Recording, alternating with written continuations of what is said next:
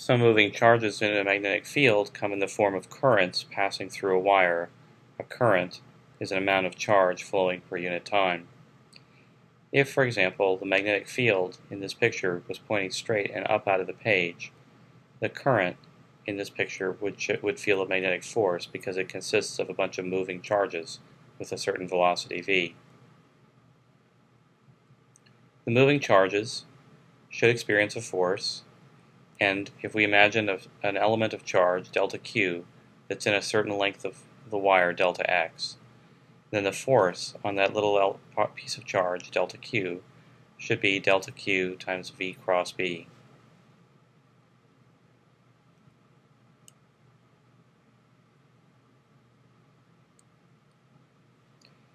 For the current shown in this picture by that right-hand rule, when the delta x points straight up in this picture and B points out of the page, then by the right hand rule, the force F points straight to the right.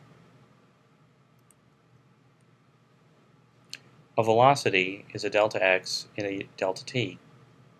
So we may write v as delta x divided by delta t.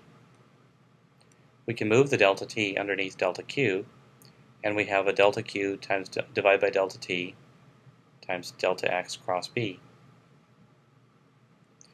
Delta Q over delta T, the amount of current per unit time, is otherwise known as the current. Excuse me, the amount of charge per unit time is otherwise known as the current. And so this force is I times delta X cross B for that on that piece of the wire, delta X. For a long straight wire, you should remember the formula that the, form, the force on that wire is I times the length cross product into the, the B field, where length, in this case, is a vector that points along the direction of the motion of the current. This force is sometimes known as the Lorentz force, after Hendrik Lorentz, a Dutch physicist. When electric charge travels in a magnetic field, it experiences a force called the Lorentz force. If it's a single charge, quantity of, of magnitude q traveling with a speed v in a magnetic field B, the magnitude of the force is qvb, provided that v and b are perpendicular to each other. In that case, the force will be per per perpendicular to both of those as well. If the charge consists of charge moving in a current through a wire, for example, then the magnitude of the force is I, the current, times L, the length of the bit of current that we're looking at times B, the magnetic field. The direction of this, have today a uh, magnet set up. Here's the North Pole, so B is pointing in that direction. This is hooked up to a power supply that can generate a large current. The current will be traveling towards the camera. The direction of that force will be in the direction of I.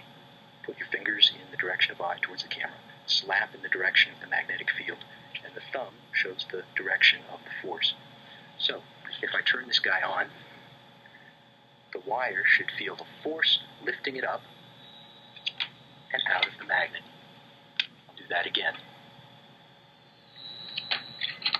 Now, if I change the direction of current, and I can do that by swapping these two leads, and I try it again, the wire is being pulled down.